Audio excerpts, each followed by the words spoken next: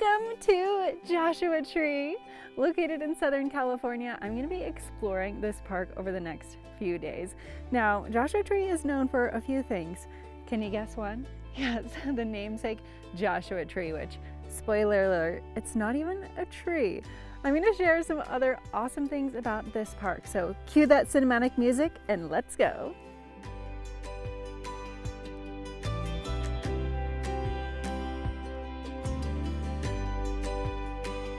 I entered the park through its main northwestern entrance in Joshua Tree, and my first stop was for a leisurely walk on the Hidden Valley Nature Trail.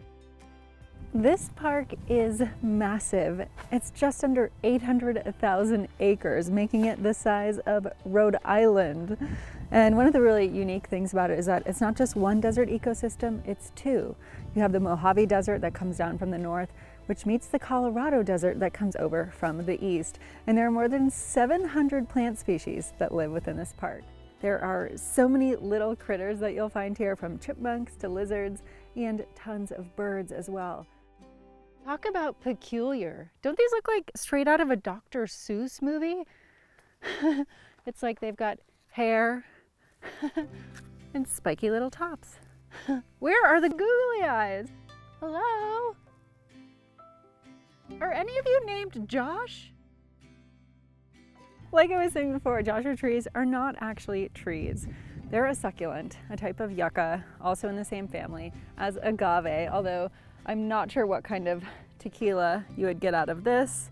But one of the really cool features of yucca plants and succulents is that they actually are able to store water inside of their trunks during heavy rain periods.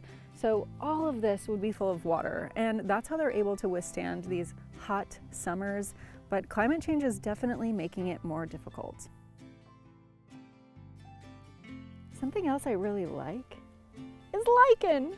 And if you look closely at some of the rocks, you can actually see little bitty tiny pieces of yellow or green in the cracks or on the surface of the rocks. And this is a type of lichen.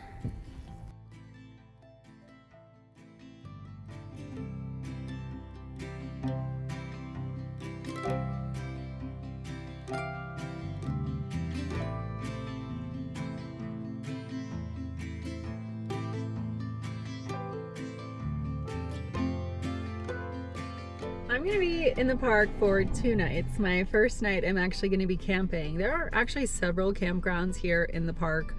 One of the most popular is called Hidden Valley, which is where I was planning on camping, but it's first come, first serve. And you can actually stay there for up to 14 days. it's a really popular rock climbing spot in the park, so it's completely full. Luckily, before I came into the park, I booked a backup campsite at Jumbo Rocks. So that's where I'm heading now. It's a really pretty campground. I've been to it before and it's got some really great giant rocks that we're gonna be able to camp by.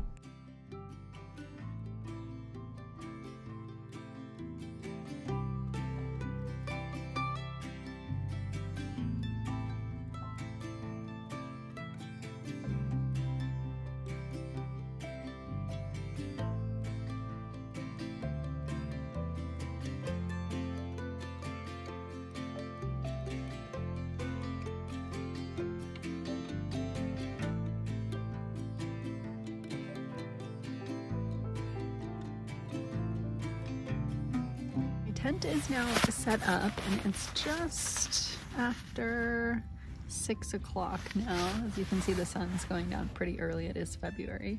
I'm just making some dinner and when it gets a little bit darker tonight, before I go to bed, I'm gonna head out to another part of the park called the Cholla Cactus Garden. I've heard this is one of the best places to see the stars, so I'm gonna try to get some good astro photos.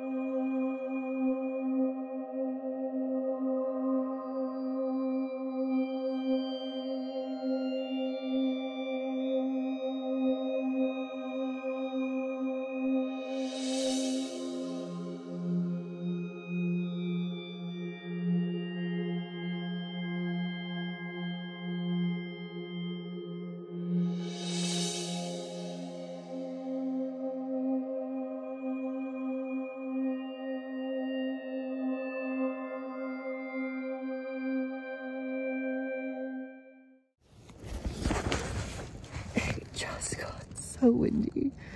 It's just almost six and all the stakes of Lamentum just ripped out of the ground. so it looks like I'll be getting up soon.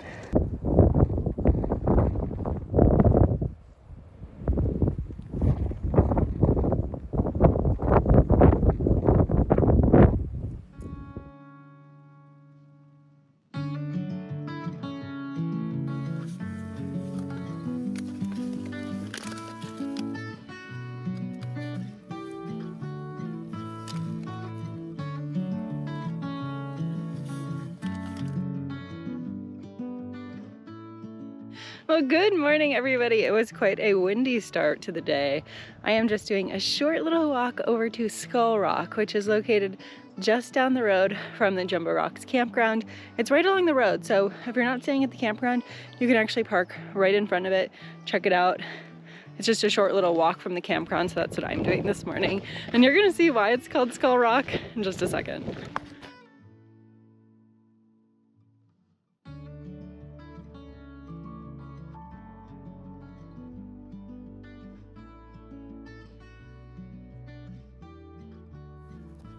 It's not just cool plant life and cactus that you'll find here in Joshua Tree, but awesome looking rocks. One of the things I wanted to point out are these long lines of a different color that you'll often see in a lot of the rock formations around here. These are actually formed from cooling molten lava.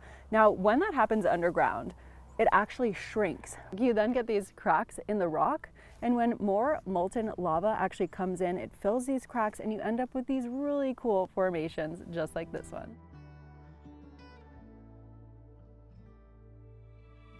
This is Skull Rock, and I think you can see why it got its name. Now, this park is certainly full of bizarrely shaped rocks and boulders to walk, climb, and crawl through. But there's one other thing that you'll see a large variety of, and that's cactus. There are several species of cholla cactus here in the park that you'll run into. This one's got a nickname, the jumping cholla, and it's certainly one you don't want to get too close to when you're on the trail.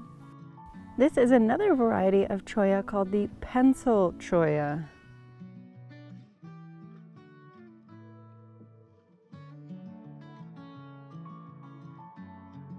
This area of the park is really fascinating. I love these big giant rock formations. It's like two giants just had a Play-Doh fight and left all of their clay out way too long. It hardened and formed all these brittle mountains. But that's not too far off because we know that these were formed by hardening lava. And then erosion has created these different formations, all the striations and the cracks, made incredible places for rock climbing, bouldering, and for geology nerds to just marvel at the rocks. Next stop is the Hall of Horrors. Now, this is a rock climbing spot, but there's also a little slot canyon that you can get into, and that's what we're here to see.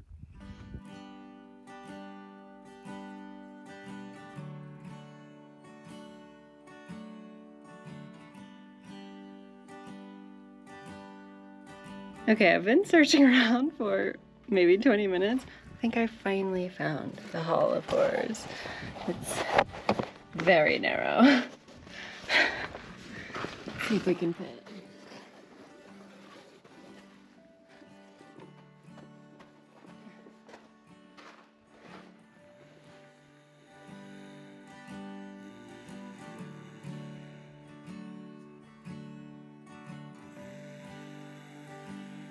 Well, welcome to the Hall of Horrors. It was very small getting in here, but the way out is even smaller. I'm not sure I'm to be able to squeeze through there. There is a reason I did not bring my backpack on this short little walk because these narrow openings are very small. It's also really confusing to find this. There are so many paths throughout this area of the desert, so you really have to keep your eyes peeled. Facing my way.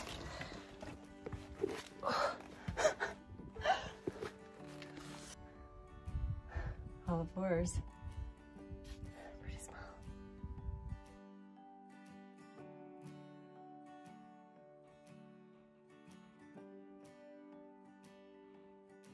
My next stop was the short hike out to Wall Street Mill, which is an easy two mile hike to the site of an old gold mill and homestead. Now, on the walk, I passed by several old structures, wells, and remnants from the days of mining and ranching that took place here in the desert over a century ago. It's hard to imagine driving a car like this out here into the desert. So, Wall Street Mill was actually an old gold mine they used a two stamp system here, and it's from the early 1900s, most of it that we see here from a guy named William Keys, who actually had a homestead here and a ranch, which I'll be visiting tomorrow. But when he died, this place was actually put into the National Registry of Historic Places, and it's now obviously part of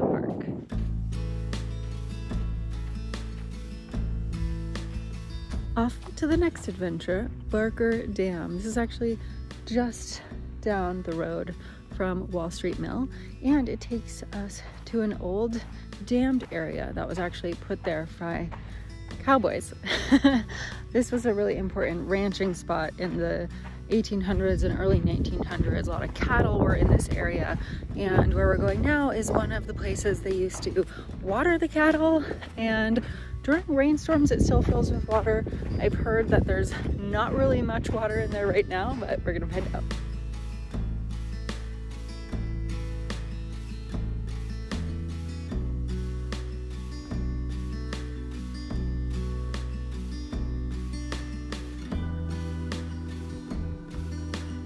Behind my right shoulder here is Barker Dam. And I'll tell you what, there is not much water down there.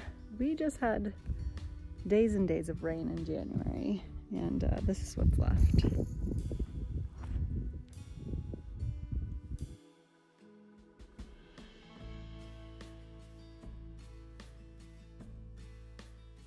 The last really cool thing on this trail are some petroglyphs. There are actually several different Native American tribes that lived throughout this area, and some of their cave paintings are here.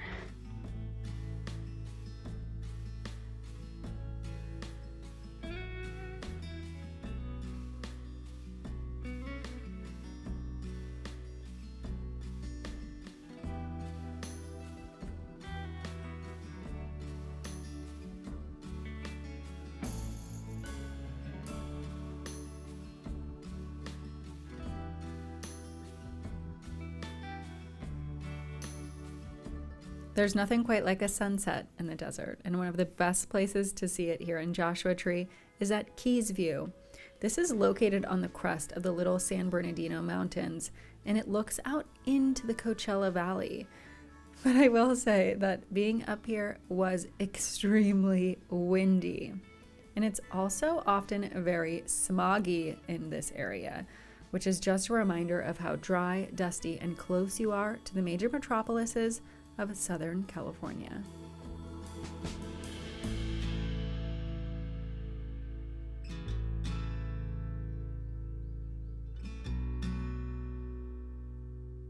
If you're coming here to the park, you might have some questions in your planning process, so I'll try to cover as many of those as I can. Now, the best times to visit Joshua Tree are going to be from October to around March. You can come in those other months, but keep in mind it's going to be extremely hot like in the 90s at night and during the day or higher. So keep that in mind when planning a trip out here. It is the desert. It is, you know, higher altitude than some of the other places in Southern California, but still gets extremely hot and that can make coming to this park extremely dangerous in those warmer months as well. Now, there is also no reception in pretty much the entire park. So if you're coming here, you'll want to download offline maps, whether that be on Google Maps, on All Trails, or on onX Off-Road if you're doing any OHV trails here in the park. And have those obviously before you come into the park. Also, if you have a camping reservation or something like that, you want to take a picture of that or save it to your phone. So um, if in case there's an issue, you have that already on your phone. Bring everything that you need. There are no services here in the park outside of the Southern Cottonwood Visitor Center, which is not in the area. Most people are going to come explore here in the park, so you'll need all the water and food that you are going to require on your trip. And as I said about the temperatures here, it is hot. Even in February right now, it's probably in the high 70s right now. you need water, you need sun protection, you need layers. Try to avoid being outside in the heat of the day from noon to 3 p.m. if you can, especially if you're in one of those hotter months. And know also that the temperatures change here drastically, especially in this cooler season. The mornings and evenings can be rather cold. So bring a jacket if you can for that as well. If you're wondering where to stay, there are actually several options most people are going to stay in the towns of Joshua Tree, Yucca Valley, or 29 Palms if they're going to be exploring the northern section of this park, which is the most popular. You could also stay in Indio or Palm Springs. Just know that it is going to be a bit longer of a drive to come into the park, and you're probably less likely to do multiple days here in the park if you're staying in that southern section closer to Interstate 10 but there are a variety of options from camping in the park. You can stay in an Airstream at Auto Camp in Joshua Tree. You can rent an Airbnb. There are hotels like Fairfield Inn and Marriott up here as well. Uh, as far as food options, I would say it's rather limited. This are not big metropolitan areas. There's not a lot of options for dinners. You're going to be much better off like shopping at the grocery store, making what you want as far as things to bring into the park. However, there are some great cafes for breakfast and lunch as well. My last little tidbit here is to always, always, always leave no trace. Always be respectful of this land and the wildlife here. And uh, now let's get back to more fun stuff. The history of Joshua Tree National Park goes back to 1936 when this became a national monument. But it wasn't until 1994 that it became a national park. In the century prior to that, you had cattle ranchers out here, you had cowboys, and you had people mining for gold. And there were quite a few homesteaders that lived out here as well.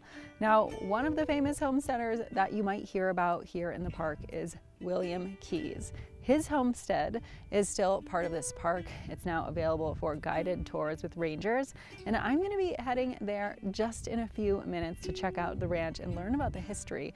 It's going to be a really cool experience. This is actually the first ranger-led tour I've ever done at a national park, and I'm really excited about it. Now, the mining history here runs deep. You'll see that a lot of the trails here in the park actually take you to some of the old mining areas. You'll see a lot of old vehicles on some of the trails, some remnants of mining machines as well, but there's definitely a rich history of that here in the park. And I just want to mention as well, before there were white settlers in this area of the country, there were numerous Native American tribes, some of which still call this place home. So I definitely want to honor them by making this video as well and just keeping this beautiful land protected. This is the Keys Ranch. This site was protected as it is a great depiction of what life would have been like back then. I just can't imagine living way out here, really in the middle of nowhere in such a stark and somewhat brutal environment. But the Keys family thrived here. And they had many different businesses. As mining started to decline and the rumblings of this place becoming a protected area started, William Keys and his family had many methods of making money, from canning their own fruits that they grew in their orchard to having guest cabins and even renting out some of their old equipment to other miners. Now, this guided tour was such a great way to learn about the history of not only the park, but a lot of the unique plants and wildlife, and also a lot of the Native Americans that used to inhabit this area of the world as well. Most visitors coming here to Joshua Tree are going to enter through the Joshua Tree exit, which is on the east. But if you're coming up from Palm Springs or Indio or I-10 in the south, you're going to come up through the Cottonwood area where the Cottonwood Visitor Center is. And there's a couple of things in this area of the park you won't want to miss as well. There are some great OHV trails in this part of the park, like Pinkham Canyon, which will take you to some really remote areas of the desert. And you also won't want to miss a hike out to Cottonwood Springs or Mastodon Peak. Well, this brings this National Park adventure to a close. Thank you so much for joining me here in Joshua Tree. What a fun few days here in the desert. I hope you learned a lot. I hope you want to come visit this national park now.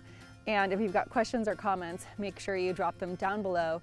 Don't forget to give this video a thumbs up. And if you are new here, please hit that subscribe button. I've got so many adventures, not just from national parks, but epic, unique destinations all around the world.